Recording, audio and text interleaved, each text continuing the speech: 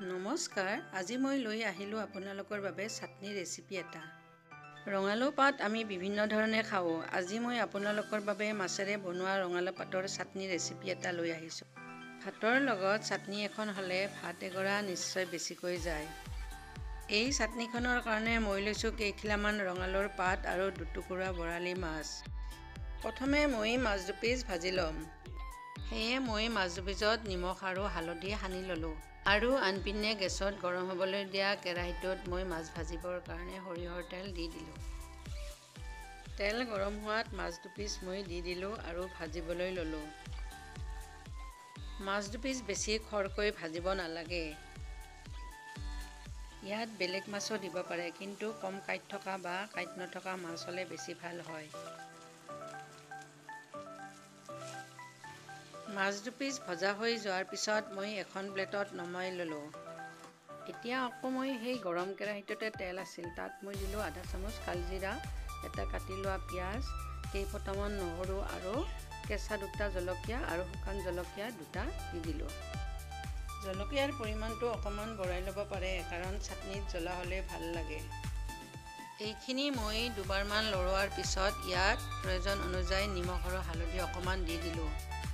চাটনি যিহেতুকে হালধি নিদিলেও হয় তথাপিও অকণমান দিলে দিব পাৰে। জলকীয়াকেইটা ফুটাই দিব নহ'লে চিটিকি অহাৰ সম্ভাৱনা থাকে।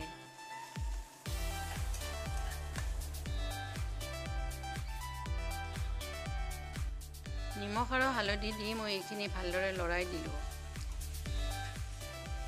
পিঁয়াজখিনি লৰাই দি মই ইয়াত কাটি মোহাৰি ৰখা লাও পাতখিনি দি দিলোঁ। লাও পাতখিনি দি মই এইখিনি অকণমান টাইম ভাজিলোঁ।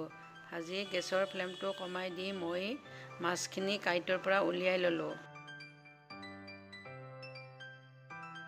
মাছখিনি কাঁইটৰ পৰা উলিয়াই মই ভাজি থকা লাও পাতখিনি দি দিলোঁ আৰু অকণমান লৰাই দিলোঁ। এই আটাইখিনি মই আধা মিনিটতকৈও কম টাইম ভাজিলোঁ আৰু এটা বাউলত নমাই ল'লোঁ। যিহেতু দুয়োবিধে ভজা সেইকাৰণে বেছি ভাজিব নালাগে।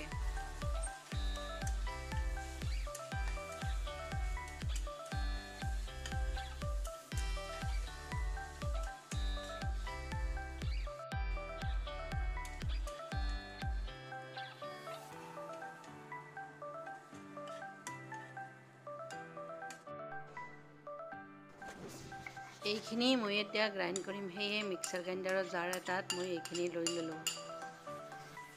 জাৰটোত মিশ্ৰণখিনি লৈ মই তাত এচামুচ আমচুৰ পাউডাৰ দি দিলোঁ।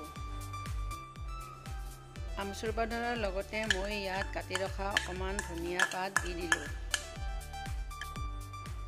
আমচুৰ পাউডাৰ নিদিয়াকৈও বনাব পাৰে বা অন্য টেঙাও ইউজ কৰিব পাৰে। এতিয়া মই এইখিনি মিক্সাৰ গ্ৰাইণ্ডাৰত গ্ৰাইণ্ড কৰি ল'লোঁ। এয়া চাওক মোৰ এইখিনি ভালদৰে গ্ৰাইণ্ড কৰা হৈ গ'ল। যিহেতু চাটনি হয় সেয়ে মই ইয়াত এচামুচ কেঁচা সৰিয়হৰ তেল দি দিলোঁ। তেল চামুচ দি মই এইখিনি সানি ল'লোঁ আৰু এটা বাউলত উলিয়াই ল'লোঁ।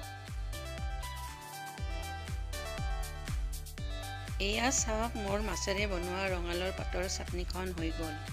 এনেকৈ যদি ৰঙালাওৰ পাতৰ চাটনিখন খোৱা নাই এদিন বনাই খাই চাব। ৰেচিপিটো চাই কেনেকুৱা লাগিল কমেণ্ট কৰি জনাব আৰু লগতে লাইক শ্বেয়াৰ ছাবস্ক্ৰাইব কৰিবলৈ নাপাহৰিব। আজিলৈ ধন্যবাদ।